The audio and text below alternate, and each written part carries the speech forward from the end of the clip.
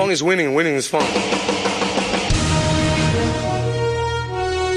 I guess you know. I, I mean, uh, we are in the midst of Friday Fung. Boers and Bernstein, Chicago's West Radio 670 The Score. I, I guess I'm listening to the first 20 minutes of our uh, little twist on Friday Fung with the Super Bowl. That really, I, I guess nobody's really had a bad party.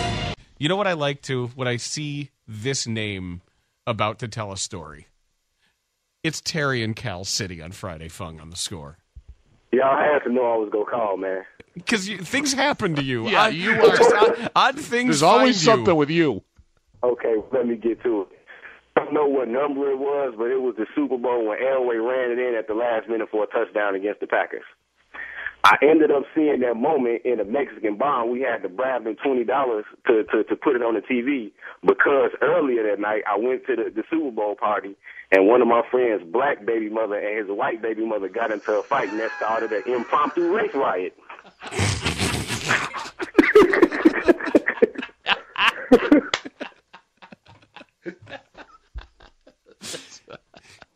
Terry's a real dude. He really is. The Terry uh, when- when- last week it was what was he running down I eighty in? Uh, uh, what was he in? A, He was in a poncho po- or something? poncho, right. In the- Milkman is on the score. Hey, fellas, what's happening? you are my friend.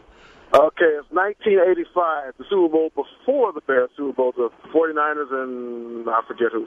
But the point is, I was in, me and a buddy at Lewis University. We were college students there. We decided to go meet or visit a friend in Justice who lived with his girlfriend. We went there, and man, mind you, it was one of the coldest days on record that day. So after we get to our visit and we were going to our Super Bowl party, we get to our car, frozen solid, can't leave.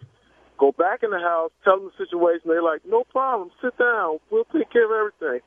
She gets in the kitchen, start cooking.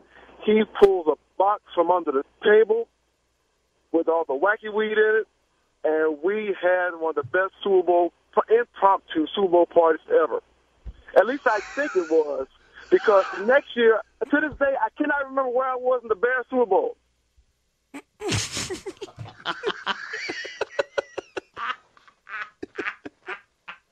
I think that's Terry from Calumet City's cousin.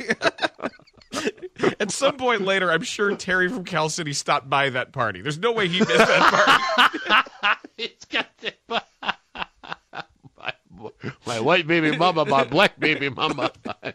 I love him.